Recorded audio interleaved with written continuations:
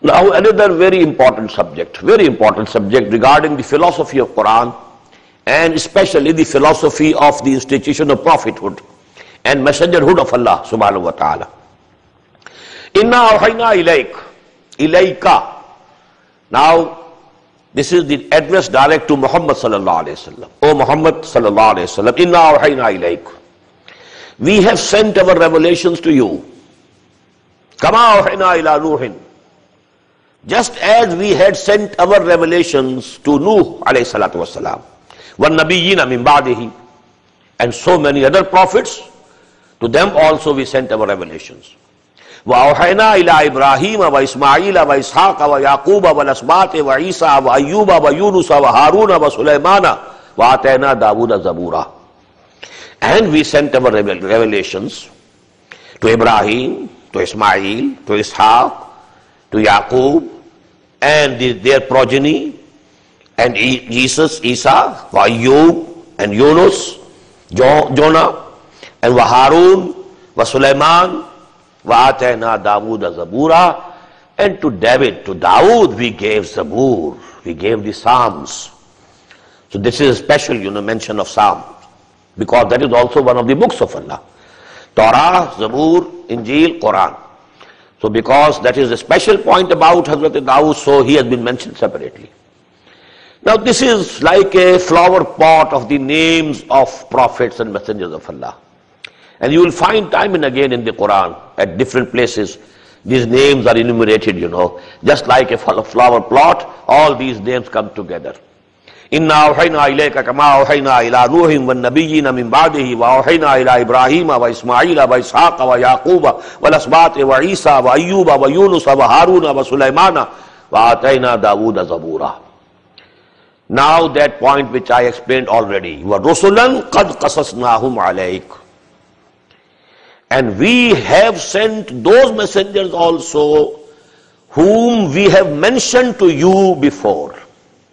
وَرُسُلًا لَمْ نَقْسُسُمْ عَلَيْكَ And there were sent other messengers also who have not been mentioned to you, O Muhammad sallallahu alayhi wa Now please understand this point. The names of the other messengers of Allah, prophets of Allah, if they were to be given in Quran, the knowledge of history and geography would have to be given first. If a Nabi came to China, what is China? Where is China? They, they didn't know the history of China. If somebody had come in India, they didn't know the history of India. So actually in Quran, only the names of the messengers and prophets who were sent in the Middle East, this area. Because these people, who were the first addressees of Quran, the Arabian peoples, they knew the history. They knew the name of Dawood and Suleiman, they knew the name of Hazrat Lut and Hazrat Saleh because they were all sent to this area. In their traditions, in their literature, in their poetries, these people were mentioned. So Allah subhanahu wa ta'ala has given in Quran only the history of the messengers and prophets who were sent in this area. But principally we believe that to every region prophets were sent. وہ امن کریت اللہ خلافیہ نَذِيرٌ There has no no town in which we have not sent any warner. امن کریت اللہ خلافیہ نذیر نَذِيرٌ وَلِكُلِّ قَوْمٍ ہاد To every nation we sent a guidance, a guider who used to guide to the right path.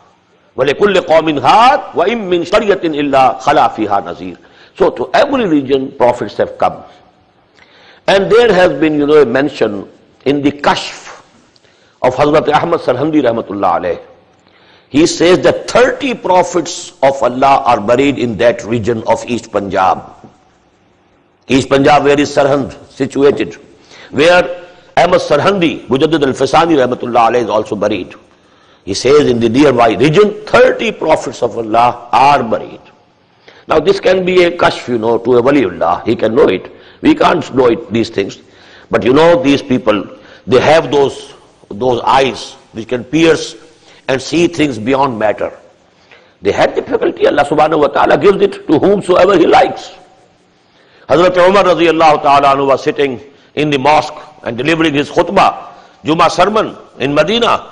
And you know, he saw the battlefield in Syria. And he saw that Sariya, radiallahu anhu, he was commanding the Muslim army at that time. He was committing a mistake. And Hazrat Umar tells him, oh, Ya Sariyato, ilal Jabal, what are you doing? You should go to their side. You should take the protection of mountain. You should keep the mountain behind you. And Hazrat Sariya listened to his voice over there. So now today, if you can convey your message from here to Pakistan through telephone or, or something, well, these things could be done without these means. Now we can very easily believe in these things. Hundred years ago, it was very difficult for people to believe. But today, it's very easy for us to believe. By simple, you know, these machines and instruments, if we can do it, why can't Allah do it without the machines? These things can be done. So actually, Allah subhanahu wa ta'ala has been sending His messengers and prophets to every region of the world. But we can't be sure. There is an opinion that Mahatma Gautam Buddha was a Nabi. And this is the opinion of Maulana Manadir Hasan Gilani Rahmatullah alayh, one of very big ulama of Indian subcontinent of this century, the beginning of this century, Manadir Hasan Gilani. He is of the view that Zulkifl, who is mentioned in Quran, we know nothing about him, no details. Only twice in Quran his name appears as Zulkifl. And he says he is Kapal Vastu Wala. Kapal Vastu. He was the prince of Kapal Vastu. Kapal Vastu ka shahzada. Kapal, pay, p doesn't, uh, uh, doesn't occur in Arabic. It is changed into fa. So Kapal Kafal, Dul Kifl, Kifl Wala, he is the person mentioned in Quran according to him. But we can't be sure.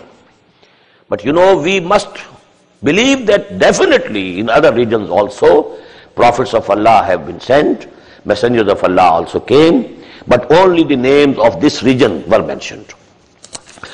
وَرُسُلًا قَدْ قَصَصْنَاهُمْ عَلَيْكَ مِنْ قَبْلُ وَرُسُلًا لَمْ نَقْصُصُمْ عَلَيْكَ وَكَلَّمَ اللَّهُ مُوسَى تَكْلِيمًا And Allah talked to Moses as it is talked. Don't think it is proverbial. He talked to him directly, in a direct dialogue.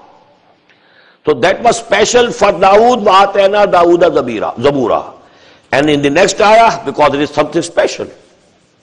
Even Muhammad sallallahu alayhi wasallam didn't have the chance to talk to Allah directly while on this earth. He had a direct conversation only on the night of ascent, night of Miraj. Not here. But it is a special point for Hazrat Musa alayhi salatu wasalam. He talked to Allah. Kallam Allah Musa taklima. It's literally he talked. Allah talked to him directly, in direct dialogue.